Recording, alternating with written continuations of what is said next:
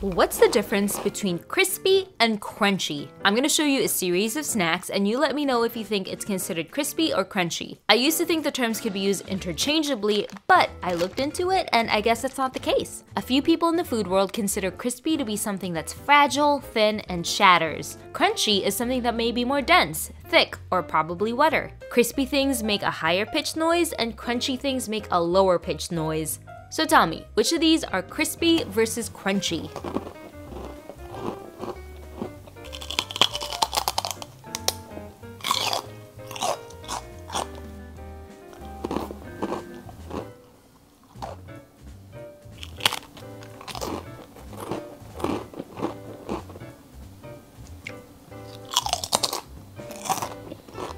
Hmm.